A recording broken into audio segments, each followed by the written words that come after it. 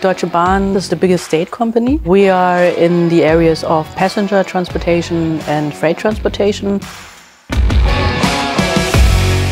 I think the biggest challenge for us is to really explain that technology doesn't mean that we take someone's job away. Most of our staff is out in the operations. They take a lot of pride in that work. We say this is the new solution. It doesn't mean that how you do things today will disappear, but we just do it in a different way. And we show you right away what this means.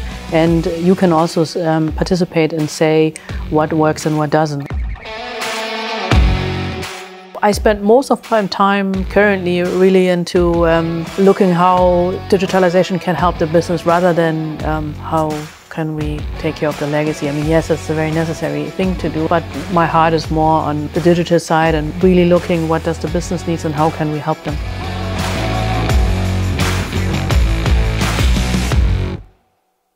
This is CIONet TV. My name is Hendrik Deckers. I'm here today with Arlene Buehler, who is the CIO and CDO at uh, DB Cargo. A very warm welcome, Arlene.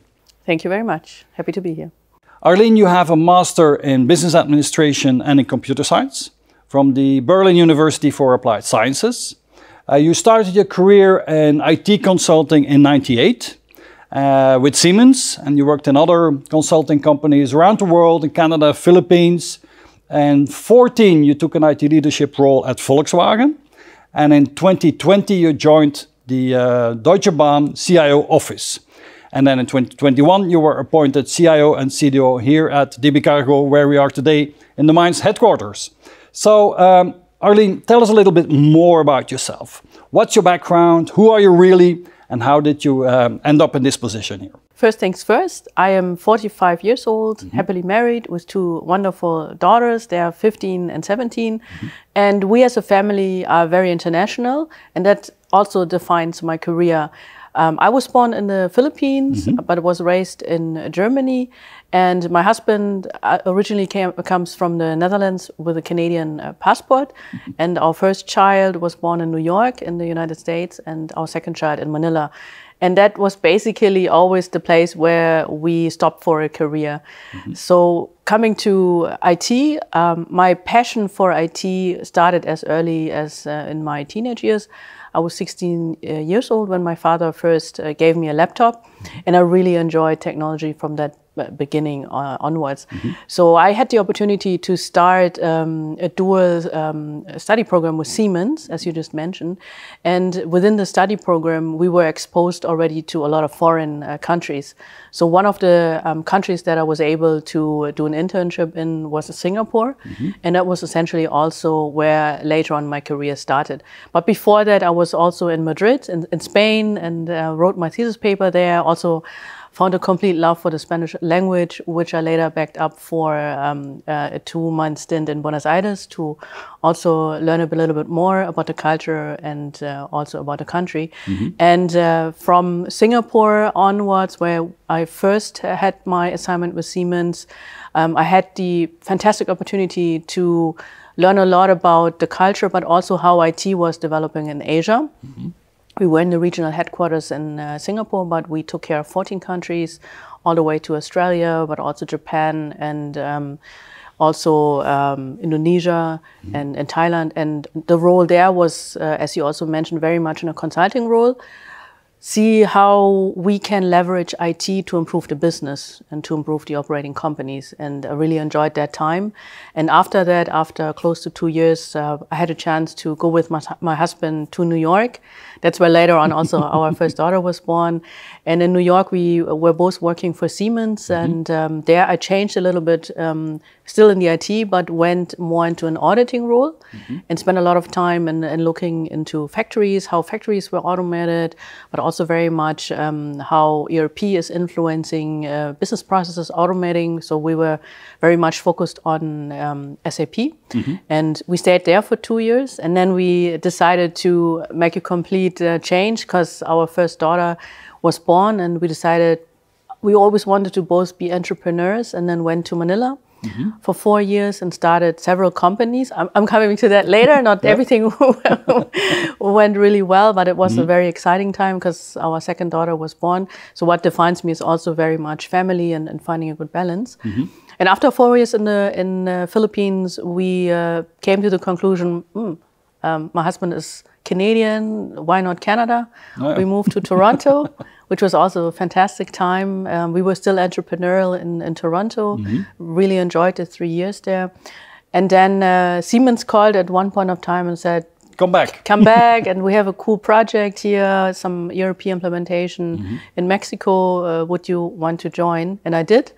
And when I was then in the Canadian operations, uh, the German colleagues called and said, "We also have a very uh, good SAP program here. Um, would you not want to consider going back to uh, Germany?" I lived 11 years with my family abroad, and then we went to Munich.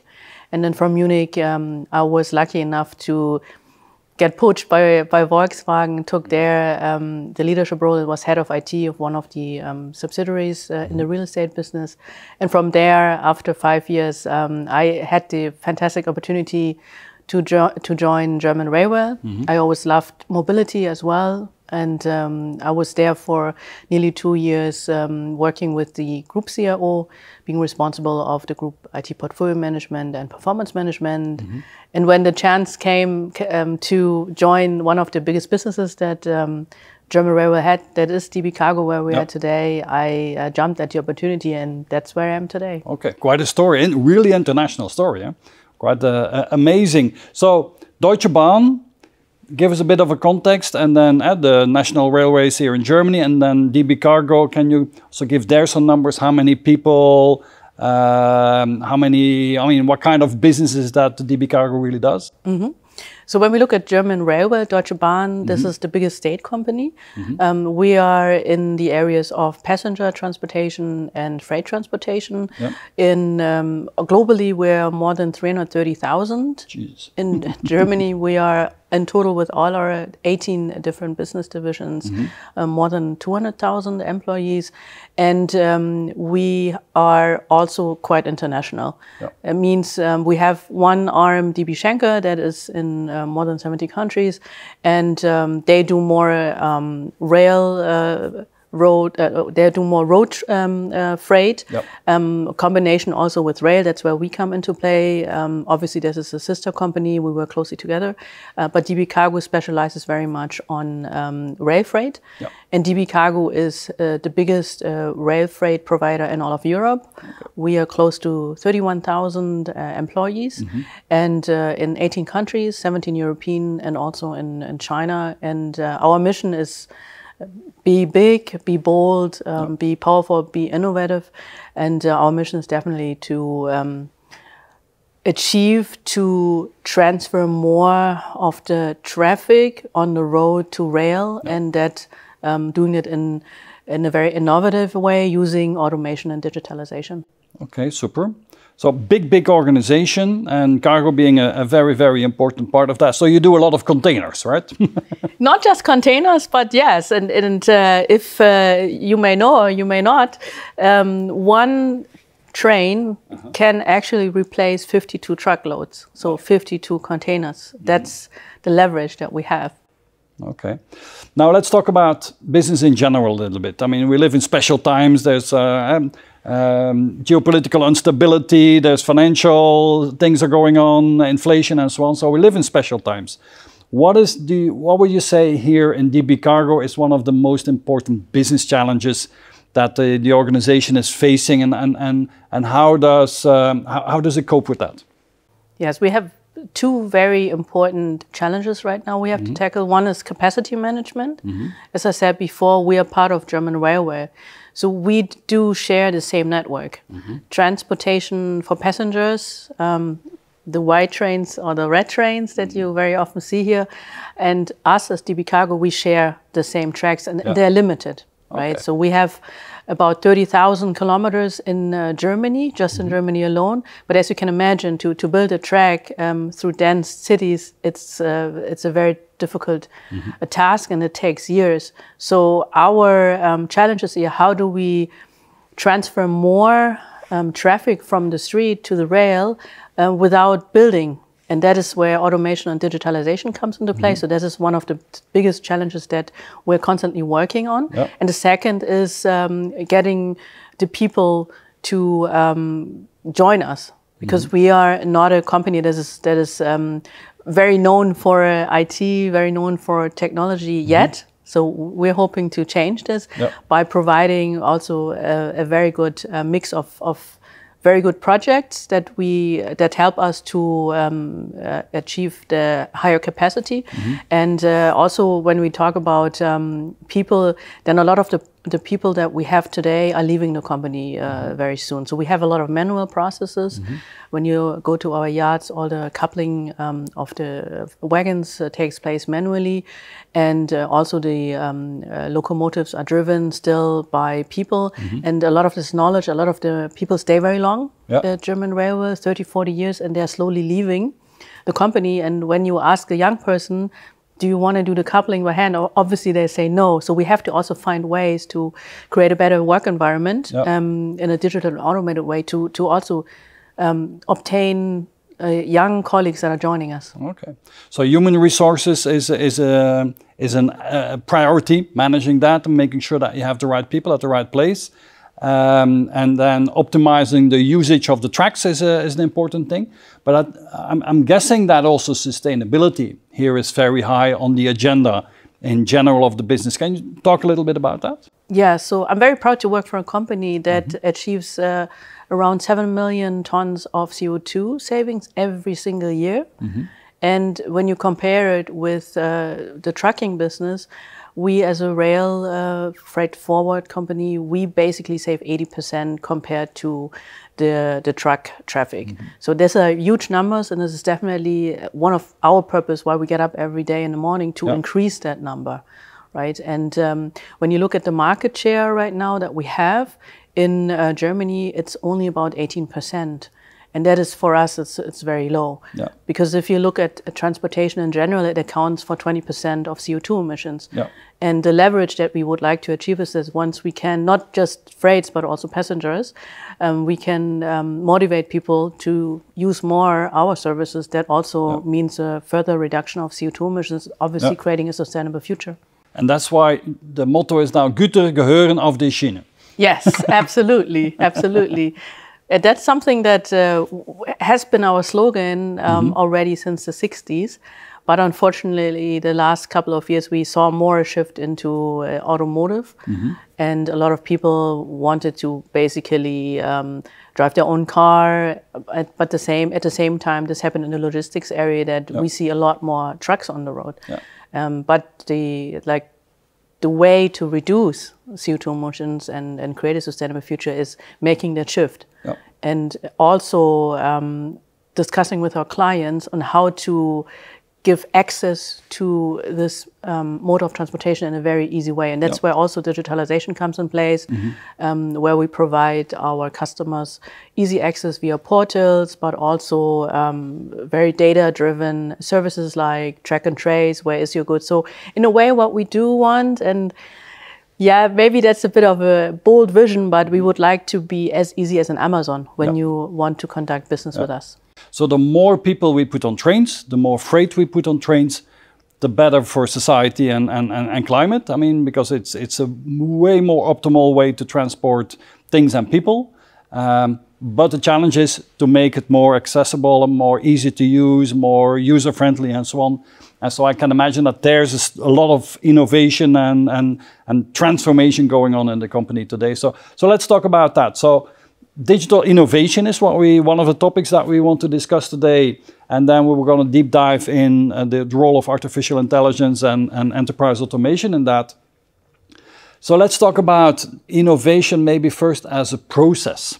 So how uh, would you say that innovation in db cargo is, is organized? What is the the uh, innovation model that you have here? How who's responsible for it how is it executed? Tell tell me a little bit the big picture 1st I've always been a big fan of business and IT fusion. you know. My background is I studied um, both um, informatics and business, and I always believe that our role as IT is twofold.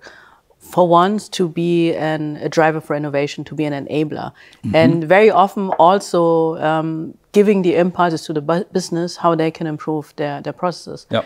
At the same time, obviously, also is um, creating more cost efficient um, processes. So, so these two um, don't contradict each other, in, Yep. in my opinion. So, what we have done, and I've been in this role now for one and a half years, is that we focus very much on establishing an, and establishing um, an organization that fosters this close communication and collaboration between business and IT. And the way we do it is creating um, more communities, um, generating ideas ourselves as an IT, but also listening very much to our business uh, partners and seeing what their challenges are, and also let them come uh, up with ideas that we then match with technology solutions. So we created um, a whole new department that's called Innovation and Transformation Okay. that um, has been in place since since last summer. And within that uh, department, we have another team that has newly been established that takes care of um, ecosystems and partnerships. I also I'm also a believer that we should not reinvent the wheel. There's a lot of good practices from our competition, but also from our partners. And I'm also a very big fan of co-creation. So we're looking um, into what are our, what is our competition uh, doing, not just other rail freight companies, but some other logistics companies, and how are they convincing their clients? So getting into dialogue with them, um, but also asking very much our customers, what is your pressing issue, and then coming up with common solutions. So that's that's uh, in a way how I see um, the success of innovation. That's what we are currently establishing at DB Cargo. Okay. So you have a separate in in the IT uh, space. You have a separate team for innovation and transformation. Yes. Okay. And so how how is that organized? How I mean, this you, they they need to collaborate with business units. They need to collaborate with with clients. Uh, such as DHL, and I can imagine that kind of, of companies that you work with. How does that work on a day to day basis? So within this um, department, as I just said, we have ecosystems and partnerships, and another one is um, data intelligence and analytics. Okay. because we would like to become uh, much more of a data-driven uh, company. And what we do is um, that every year when we do our planning, um, a big holding, we're a big corporation, we also have then very traditional planning processes. Um, we scan very much all the ideas that are coming in, and uh, then also looking into what is the investment, what is the opportunity, what is the benefit, Yeah. and then also um, make a selection of um, and, I, and I really like this picture of a portfolio mix yeah? not having everything that is um, related to cost reduction but also um, allocating budget to innovative ideas. So we call it like a transform uh, uh, budget yeah or like a grow budget.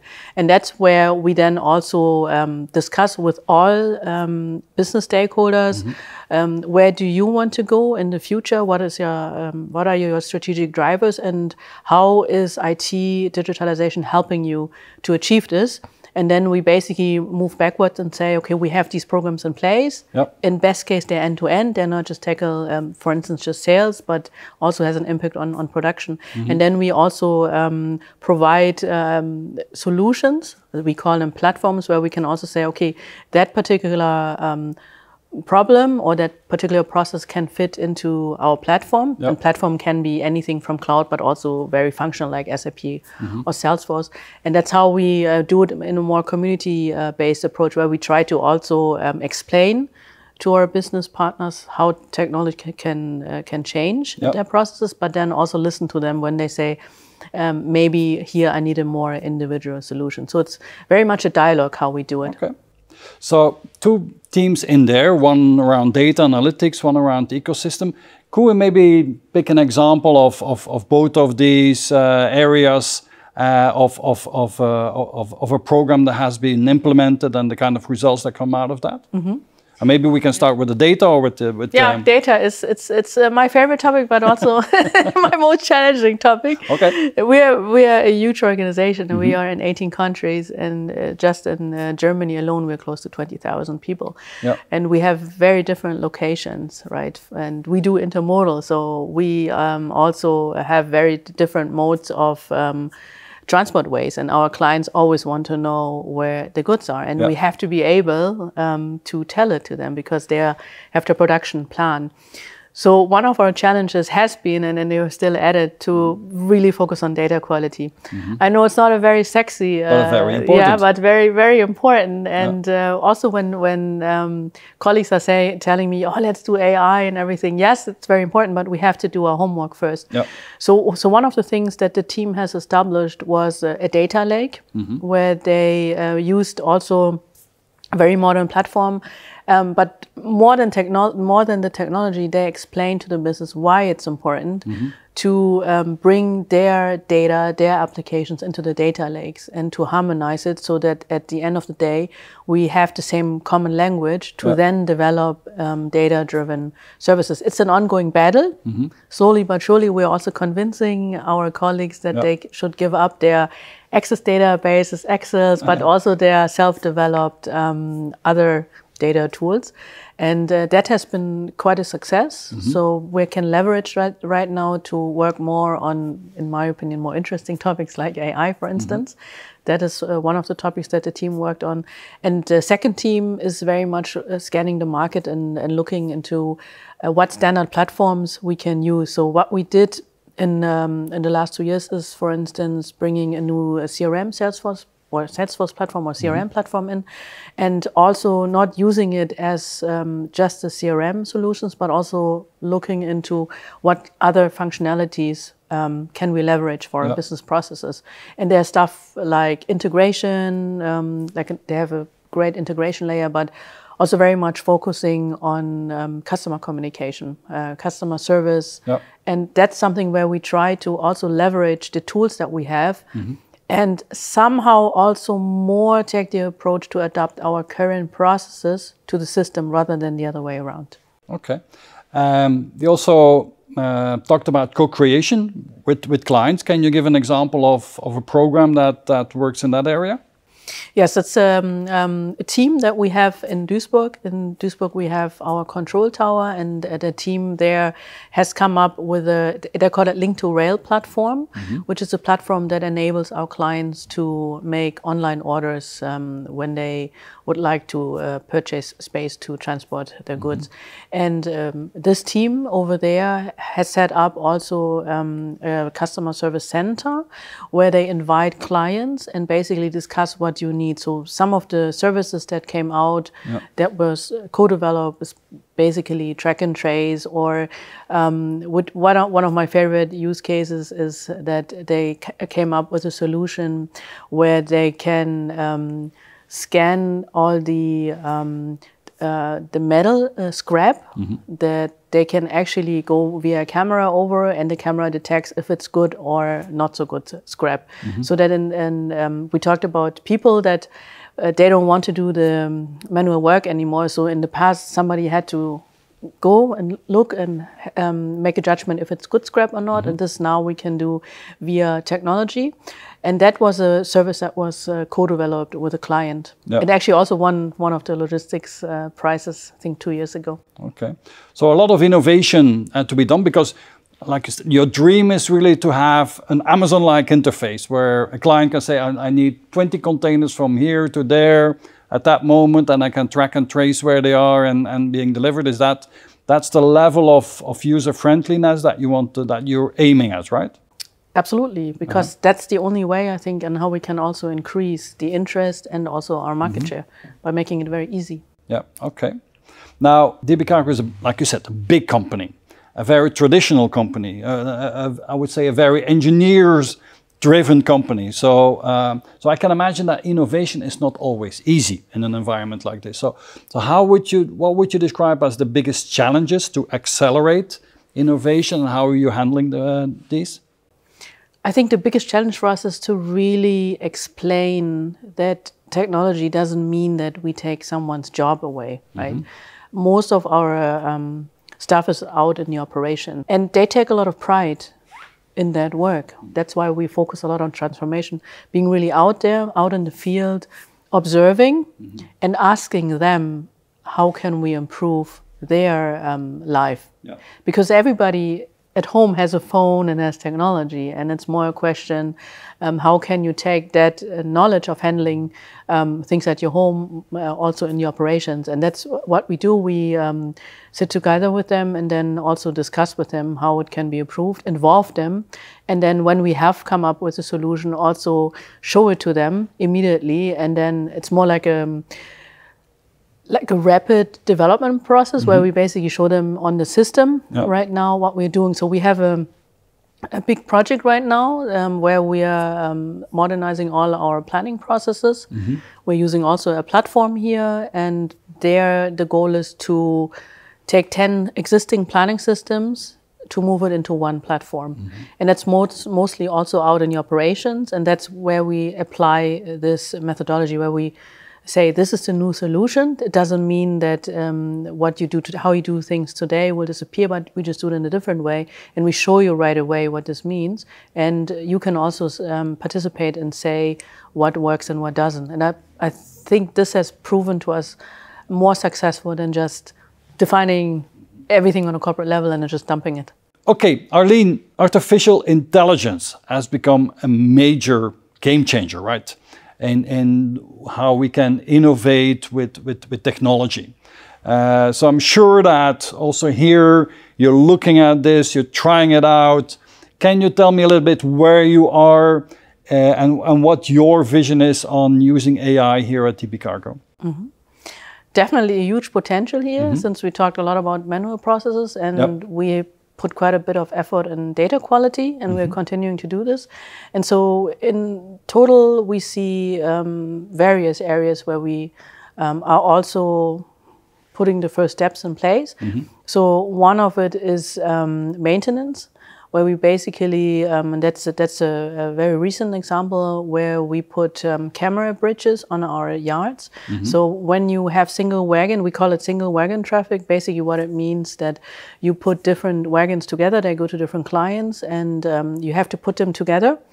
Um, that can be two or three freight wagons or, or more to create one full train. Mm -hmm. And um, the way you do it, you do it on the yard, and then uh, basically it gets put together. And we installed camera bridges. Um, it goes through the camera bridge, and the camera bridges takes a lot of pictures and sees if there's any damage on that on that on, on any of the wagons, mm -hmm. right?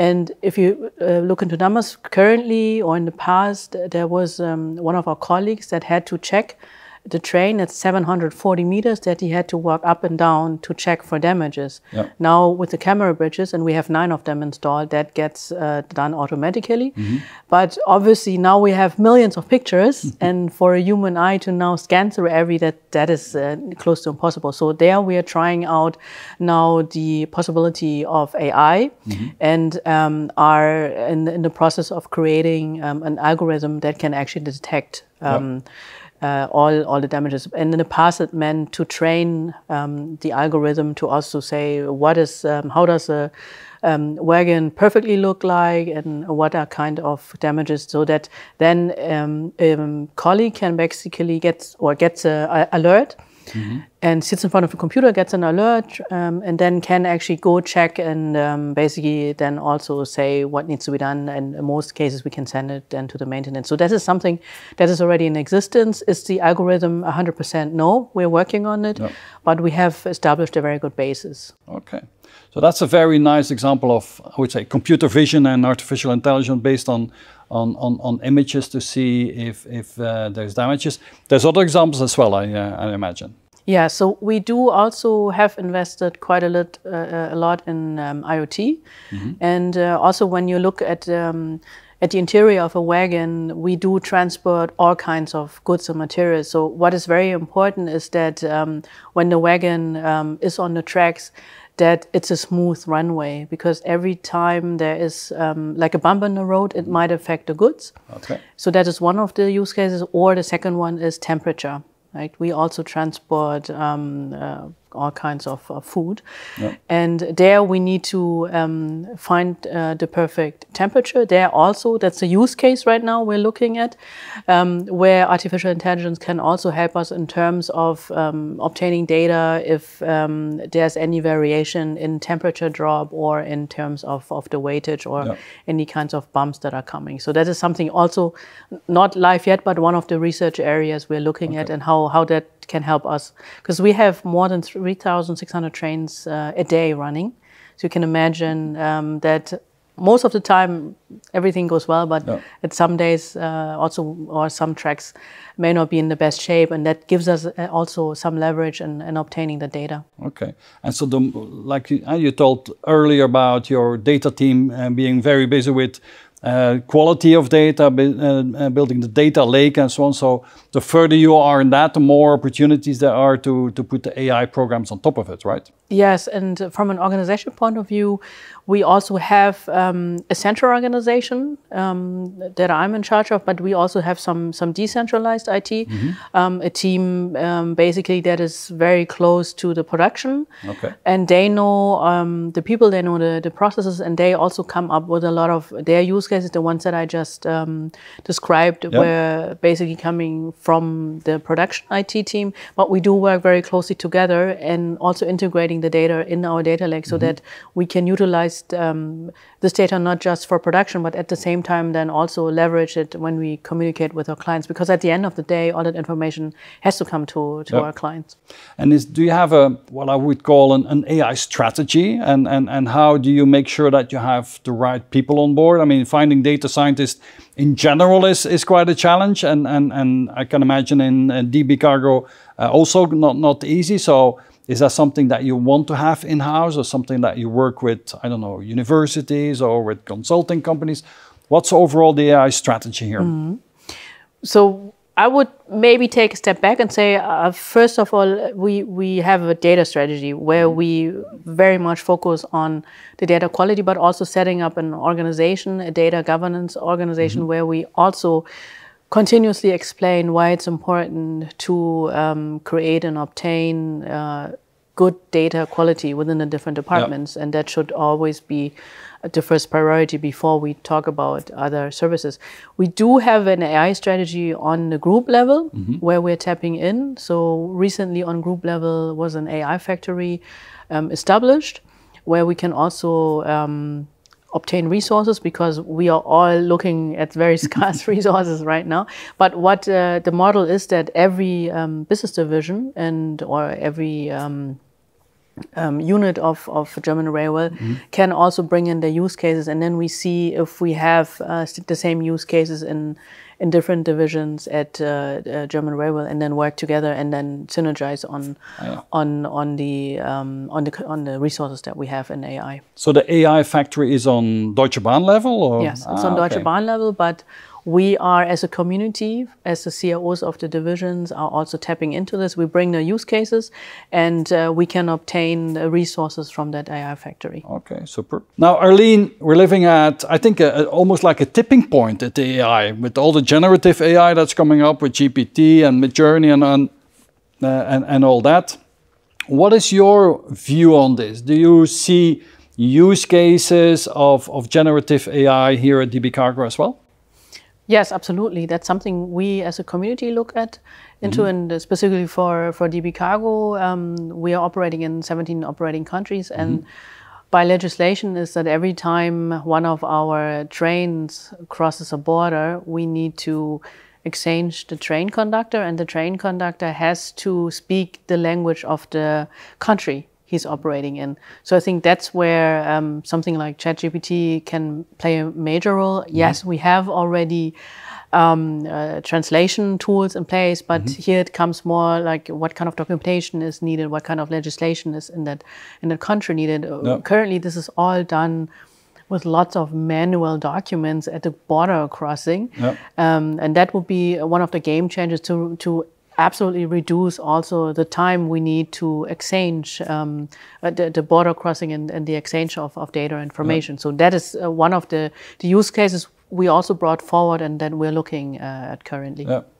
I can imagine that you work a lot with other countries uh, around Europe as well, with the French and with the Belgians and, and, and the Dutch and so on. So how is that collaboration going on on, on, on IT level? So we do have um, a consortium built up. It's mm-hmm. called mm -hmm. Rail Freight Forward. Mm -hmm. That was um, um, founded by um, the cargo business of the Austrian um, freight company. And um, in within the, this consortium are, are five topics that all European freight companies or in, that are in the rail uh, mm -hmm. business uh, deem important. So one is digital automatic coupling. It's basically um, automatically putting the wagons together okay. and not doing it in, in a manual way. Um, one topic is uh, automated train operation. Um, where we can also see that we as, as a European community can push it because as you imagine it's uh, significant funding um, mm -hmm. needed for, for both of the initiatives. Yeah. Um, one other thing is also capacity management on European level, which is also for us a very, very important topic here in Germany. Um, another one is also to create um, uh, European standards um, on, on the train management system. And last uh, one that uh, we also feel quite important uh, um, is digital platform that we create data standards across Europe that um, when we cross borders, we have the same um, kinds of documentation in place, mm -hmm. that we have the same kind of data that we can also leverage for services. And that's something that we as uh, German Railway or DB Cargo are working quite closely together with. Uh, so one of the main drivers are um, Austria and uh, also um, France, but we also um, work very much um, on innovation in general, mm -hmm. in, in, pushing the sector, the um, railway sector, um, making it, as I said earlier already, accessible for the clients to use our services. Okay. So we will have in the future self-driving trains then? We do, we do have that today Already, actually, oh, yeah. and not like freight trains, mm -hmm. but we have examples um, for passengers. It's um, it's like S-Bahn um, more in in, uh, in, the city city of Hamburg. We have uh, the first pilot now for okay. for an automated um, S-Bahn, and the same technology we are um, now applying at DB Cargo. So we are one of the pilots. That's mm -hmm. also funded by the European Commission, but obviously that still needs um, a little bit of time to develop um, yeah. in terms of legislation what that means. Yeah. And like Elon Musk has a dream that we all have self-driving cars.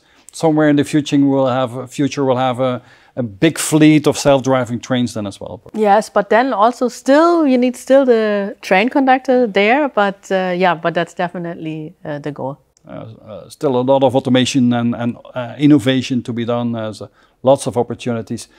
A third topic I would love to discuss with you, Arlene, is, is intelligent automation. I mean, RPA, software robots, low code, and, and, and so on are, are, is an amazing trend uh, that we see in, uh, in IT in general. So where are you in, in, in your process of implementing RPA and, and, and robot software robots here at DB Cargo? To be honest, we're at the beginning stages. Mm -hmm. It's, it's something that uh, we definitely have a look at mm -hmm. at mm-hmm. this point of time, but we are, to be honest, still very much focused on looking at our legacy and and uh, um, in the process of modernizing our legacy. Mm -hmm. For example, our production system we call um, uh, at a, in a production a production system when we put all the trains together, and this system has been more than 30 years old. Mm -hmm. And if you look at the um, if you look at the interface, then it looks like from the from, from the nineties, yeah, like um, black screen with like uh, green arrows, yeah, uh, yeah. exactly. So that is something that we are focusing very uh, much on, and um, the whole automation within IT. It's something where we more look into uh, platforms. Mm -hmm. So we have um, one company that has implemented a low-code platform. Mm -hmm um, they are very happy with it. That's a company that basically provides the access to the to the ports. Um, talks with the ports and gets the containers um, from the ports then Yep. onto our our um, freight wagons. Yep. So that is something that uh, we have successfully implemented. Mm-hmm. Um, in terms of RPA, that is something in, the near future, but not something that, that we are currently uh, focusing on right now. because I can imagine there's still so many documents, so many different systems where you have to exchange data between the different systems, so many legacy systems that you need to uh, to transform, and in that transformation process, there's, I mean, there must be huge opportunities uh, in in that as well. Are you establishing a, um, a, a center of excellence for automation? Is that is that one of the plans as well? That's some of the plans. So when I talk that we are not currently focusing on, that's more from um, a central perspective, from Yep. a DBAG, but we do have um, some of our countries that are very uh, venturing out. And what we are thinking of is that not everything has to come from, from Germany, but we should also leverage the know-how of our for instance, French uh, colleagues or British colleagues, and they are in some ways already further and have implemented some of the automation already there. And we're looking into how we can maybe set up a competence center Yep. outside of Germany and leveraging that know-how. Okay, super. Arlene, let's talk a little bit more about your IT organization. Uh, I understand that if we calculate all the externals, uh, external people that work, that we ha- you have around uh, a team of around 1,000 people. Is that correct? Um, around about, yes. If you Yeah. look at everybody that has something to do with IT, being within our organization, that's around 250 plus. Then you have still quite a decentralized organization that is also about 250 plus, including the countries. And then we have about 300 plus more or less um, external um, IT colleagues that are helping us. Yeah. So round about between 900 and 1,000 that, Okay. that are actually helping us driving innovation. Okay. So Arlene, tell me a little bit uh, more about how you have organized these these close to 1,000 people. What's the what's the IT operating model? We are um, also focusing here very much on, on a more um, community approach, meaning we have countries. We have 17 countries plus China, and obviously, especially these 17 countries in Europe, have also their own IT organization.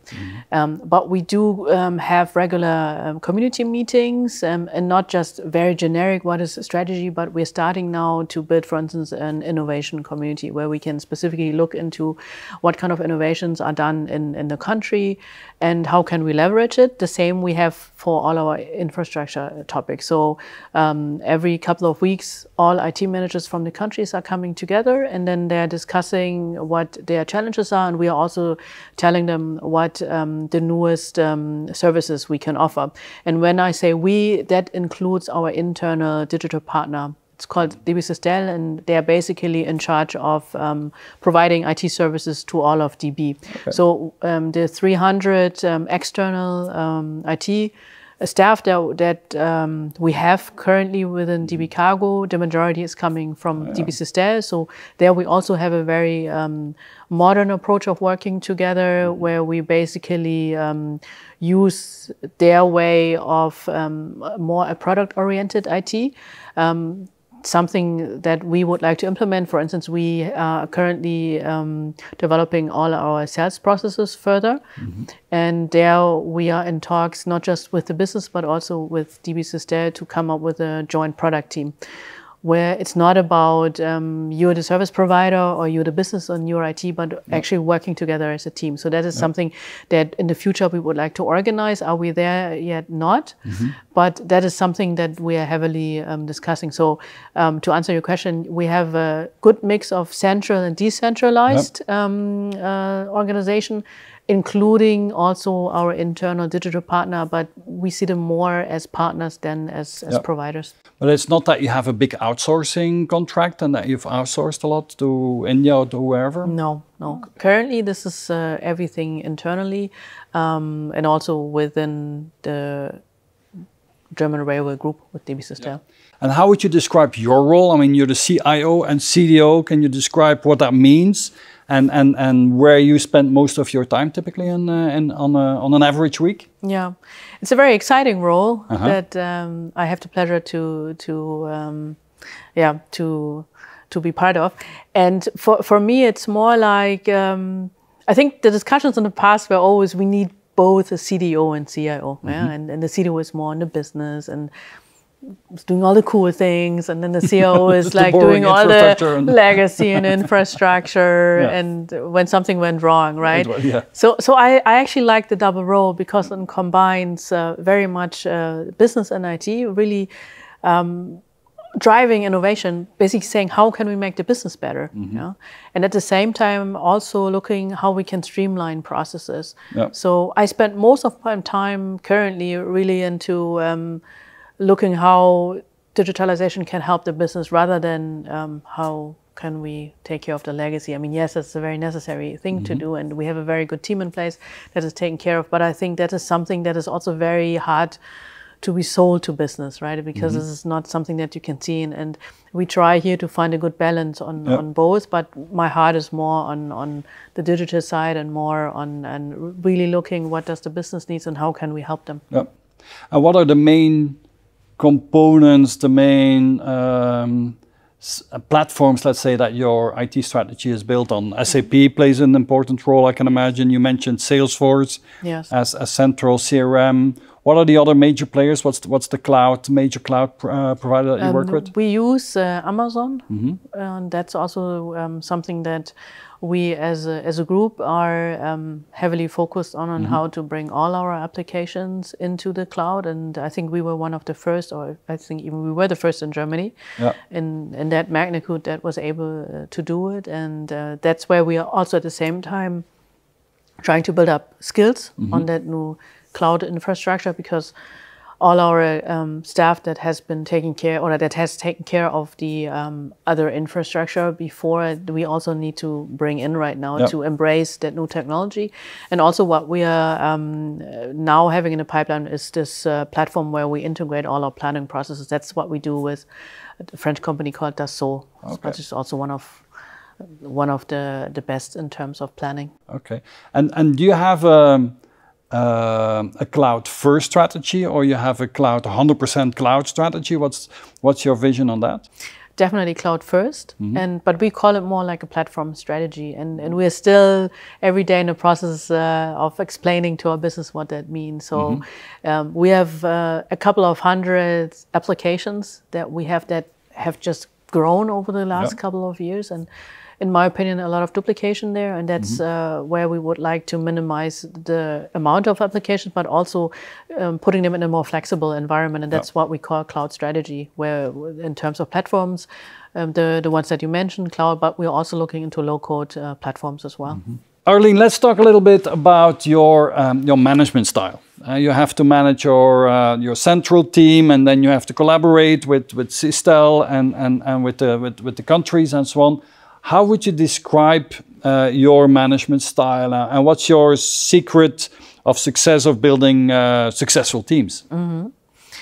yeah, I'm a big fan of collaboration. I mean, when you look back into my history, then I've encountered different countries, I've encountered different cultures, different way of working, and um, I took a lot of um, pride in this that I was able to do it, but I also took a lot of experience um, from that, and I try to apply it every day. When we work in a in a multinational environment right now, which is very important to also um, establish relationships with our fellow countries. Our traffic is uh, European. Sixty percent of our traffic crosses European borders, so that is very important to create also a sense of belonging. That it's not the big holding or the big DB cargo Yeah. in minds that makes all the calls, but also listening to them. And uh, I would uh, describe myself as, as a very good and effective communicator. It's, I think it's very, very important, especially in different cultures and also different languages, to also get a sense of, of a common language. Yep. So that is something that uh, we put a lot of effort in.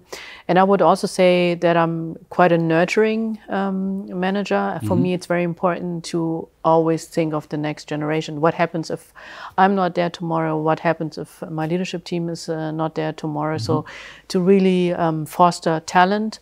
Um, at- all kinds of career stages, and Yep. also enable an environment where people can thrive, where where people can uh, feel appreciated and also are heard with with their ideas. Yeah.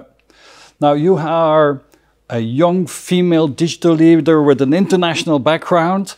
Does that make your life easier in a, in a traditional railway organization, or is it is it an advantage or a disadvantage that you have your special background? Yeah, it's a very interesting question. I'm, I'm asked uh, uh, a lot this question, and mm. I mm-hmm. must say, and I just said it uh, yesterday. I was uh, um, in the panel yesterday to encourage young mm-hmm. female leaders, and the question was always like, "How is it being one of the few women when you're surrounded by men?" And I said, "I really enjoy it, yeah. yeah, because uh, my experience has been quite positive, mm-hmm. like in, in a very technical environment, and I've spent the last 20 years of my career in technical environment. Mm-hmm. I never saw it some sort of a threat. I always saw it somehow I can learn from."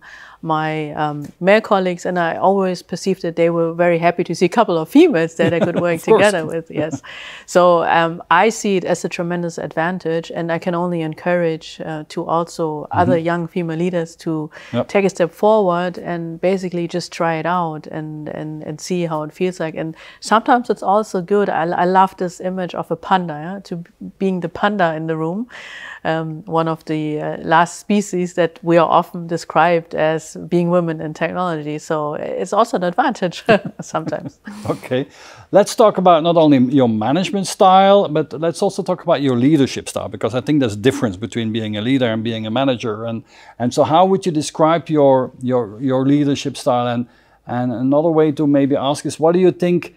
If I go back to, uh, to the CIO office in, in, Deutsche Bahn or go back to Volkswagen, what do you think the people that work with you today or in, in the past, how do you think they perceive you as a leader? What are they going to say about you when you're not around? Mm, to be honest, they would probably describe me as very pushy. Pushy. pushy. Okay, that's good. yes.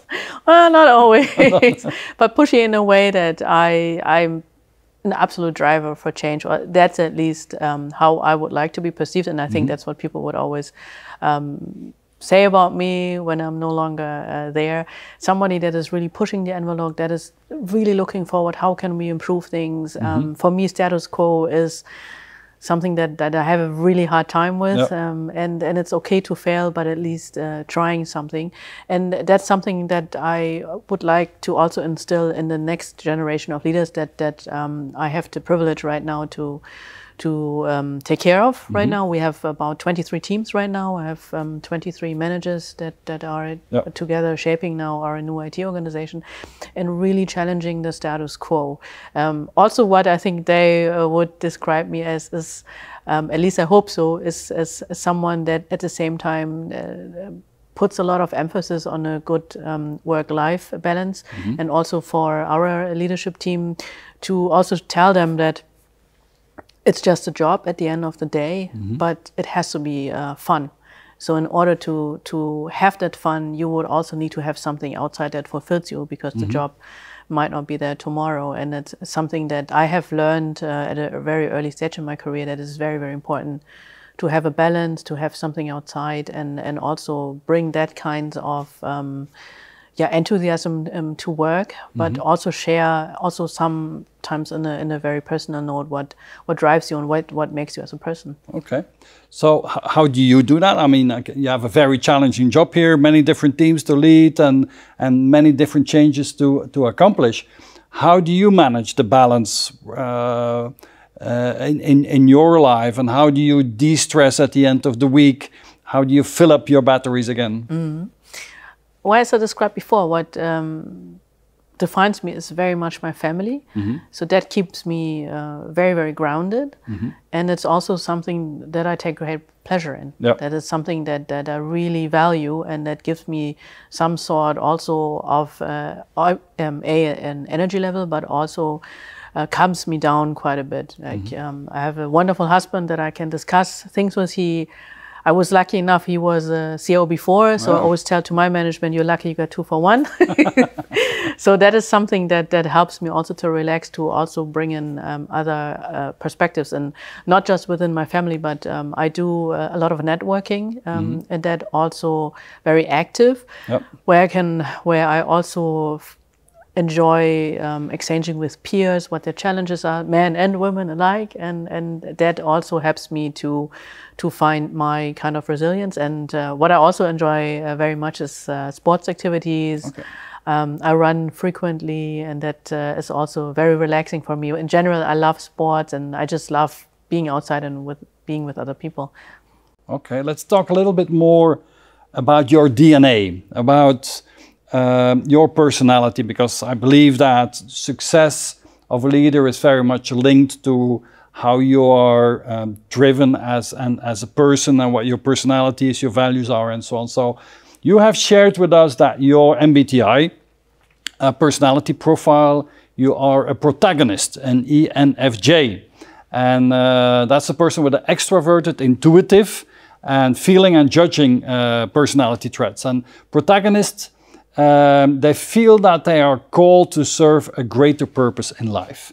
And they are thoughtful, idealistic, and these personalities, they typically strive to have a positive impact on other people uh, and the world around them. They rarely shy away from an opportunity to do the right thing, and even when doing so is far from easy. So they're very purpose, uh, purpose-driven uh, people, um, people with your personality profile. Uh, Arlene, what I'm going to do is give you five strengths of the typical protagonist, and then you tell me which one that you relate with most, and maybe give an example of that, and then I'll we look at the flip side as, uh, as well. So typical strengths of a protagonist is that they are very receptive, and they, they can listen to other people. They're very reliable. They do what they say and, and, and, and so on. They're very passionate in, uh, in, in their life and in their work. They can be very altruistic, working uh, for the, uh, with purpose for the, uh, the world around them, and very charismatic. Which one or ones do uh, stand out for you that you really recognize yourself in? I would say the purpose driven. Mm -hmm. That is uh, also something um, that I love every day. I know what I'm getting up for yep. working here. And that's something that resonates very well with me, and that also shows um, within my career that I always took assignments where I could also make a sustainable change. Yeah, and because I think typically in, in, in a state-owned organization like DBK Group, you have you can have a big impact on society. So being, uh, I think a lot of people work here because of the purpose of the company. No. Yeah, that that's exactly uh, what uh, drives me also staying within DB Cargo mm -hmm. because I find a lot of like-minded people that are equally driven by this purpose and mm -hmm. improving um, society for the next generation. And and I really like being in a group of um, people in a community that has that sense of uh, of uh, drive and purpose. Okay, super. Let's look at the flip side of your personality uh, type. Potential weaknesses or development areas of the protagonist is that sometimes they can be unrealistic, uh, expecting too much. They can be overly idealistic. They can be condescending in the sense that they like to explain things uh, and they know how things are, but they can sometimes do it in a condescending way. They can be too intense and they can also be overly empathetic. Which one in the past, where you recognize yourself, in which areas uh, have you developed yourself to come uh, overcome some of these, uh, or one or, or, a couple of these uh, weaknesses? I would say condescending this right now, but I think I improved over the years. Uh-huh. Yeah, that's definitely one of my weaknesses. I think I'm very often very fast in, in my judgment, and mm-hmm. then very often also fast in sizing people up that I may not be as fast as I am. And yeah. I was so many times, and I learned it the hard way that uh, that's not the best way of, of uh, trying to achieve a common goal. Mm-hmm. Um, but that's something that I've definitely worked on over the last couple of years to. Um, step back, mm-hmm. listen to the other person, see what the perspective is, and also letting the person develop their ideas and their actions in their time, not in my timeline. Yeah. So you have learned to be to be more patient and to be less intense now and then. I hope so. Yeah. let's dive one level deeper, uh, Arlene, and let's uh, let's talk about your core values because I think that's really what drives uh, a person in the end. So. You have two children, two daughters, 15 and 17. Uh, um, uh, you told us what are the, the values that you have passed on to them? And can you give an example of, of what you expect from them and, and how you want them and therefore yourself to behave and, and, and the core values that drive you in your life? Mm -hmm. I think there, there are three values that we um, give them every day and we remind them how important they are. And this, mm-hmm. first of all, is uh, being generous. Mm-hmm.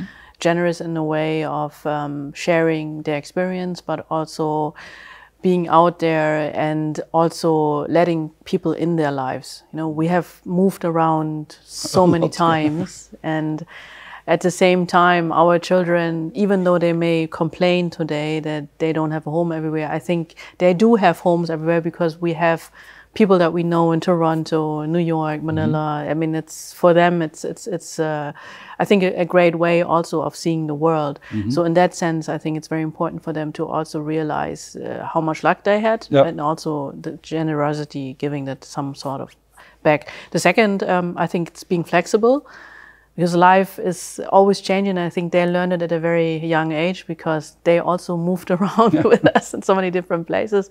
And the last one is, and, and I hope they will carry that within themselves, is uh, being courageous, not being afraid of trying out new things and just doing things. Mm-hmm. It, um, and it doesn't matter what people are saying yep. and staying their own person um, during their journey. Okay you, if you look back at your uh, career, which is now what is it, just over twenty years? Twenty years, yeah. Um, what are the, the, the the important people, the mentors that have shaped you as a professional and maybe helped in your career as well? People that you look up to and that you learn from. Can you maybe give an example of that?